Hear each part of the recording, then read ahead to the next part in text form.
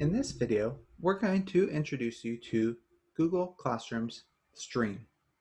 The Stream is an area for notifications announcements that you want to send out to students or anybody else involved in this class, including additional teachers. Also, announcements shared on the stream will be sent in the parent summary if the parent summaries are turned on. Now, how do you post to the stream? It's actually quite simple. First off, let's talk about why it's called a stream. It's called a stream because new information goes up top. Just think about putting a toy boat on a stream. Everything up top then floats downriver as new things get added, as new water pushes it down.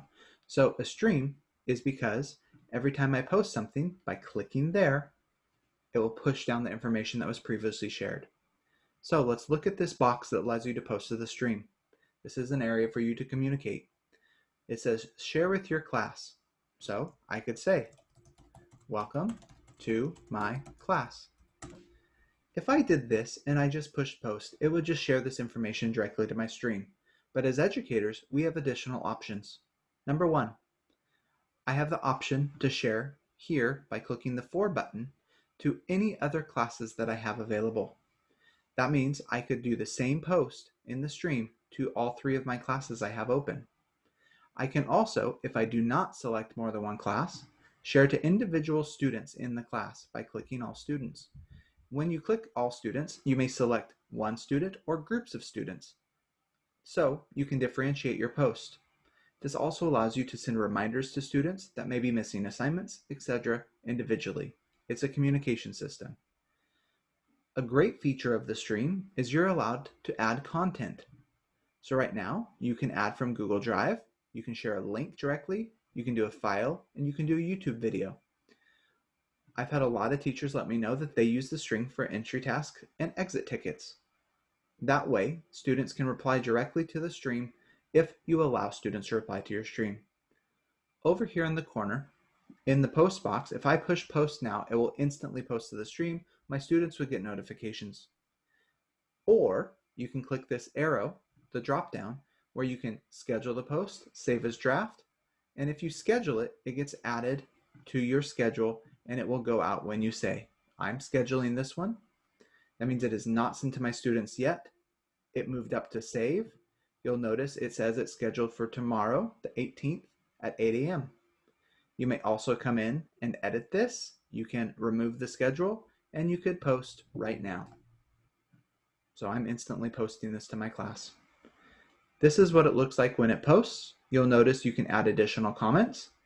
Over here, you can also edit it and reshare again or completely delete it. A great feature is also copy link. You can copy link and send it to students for them to respond to it promptly through that link. One thing you should know about the stream is when you first create your class, students also have the ability to post to the stream. That means they can start their own thread of communication. The other thing they can do is reply to everything on the stream. That is the first thing you need to think about when setting up your class. Do you want students to have the ability to post to the stream freely? If you do not, if you are worried about what they could post without you in the class, you can go to your settings window up the top right, it's the gear, and you can edit who can share to the stream. You'll notice we have stream settings. Stream settings, so right now students can post and comment. I can change it to students can only comment, which means I, as the educator, post all of the main topics. They can only reply to my posts. Or you can allow it for on the stream, only the teacher can post to the stream and comment. That means you manage the stream completely. It is purely for announcement purposes only. Students can view it, but they cannot type back. They cannot reply. If for some reason you have a student that posts something you do not want, which I can demo, I'm going to go to one of my other classes. Okay, so we had students post here. Let's say Mary posted something I was not appreciating. I can go here and I can mute Mary, which means Mary is no longer allowed to post to the stream or comment on the stream. You may also delete students' posts. Another feature is move to top. Think about a stream. Your toy boat has slowed down because all these other things have happened you can now pick this up and move it to the top of the stream. Notice it now moved up to the top, so you placed your boat back up. Now, you'll see these show my assignments from classwork that I've posted. That's because those are notifications from classwork. Back in my settings, if you don't want notifications from classwork on the stream, you can hide them completely. That means it is only an announcement area for things that you post on purpose. Or you can increase it by showing every detail of that assignment, or discussion, or other, anything you do in classwork. It's up to you. Everything is manageable. So I'm hiding them. I'm pushing save. Going back to my stream, you'll now notice those are all gone. My notifications disappeared. The only other two things I need to show about the stream.